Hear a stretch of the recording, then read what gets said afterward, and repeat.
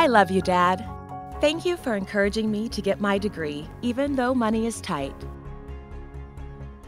I'm learning a lot about myself, including that I like working with numbers, so I'm taking classes in the Barton School of Business at Wichita State. Dad, I got an internship in finance and I love it. I joined Professional Edge. It's a new program that will help me with my soft skills, like working in teams, solving business problems, giving presentations, and communicating with colleagues.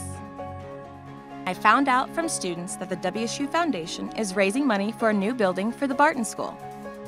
It's supposed to be really cool with interactive classrooms, collaboration spaces, and a location right on the Innovation Campus.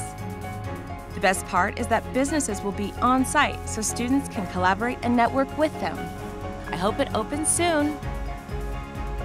With an internship, professional edge, and a new business building, Dad, this really is the perfect place.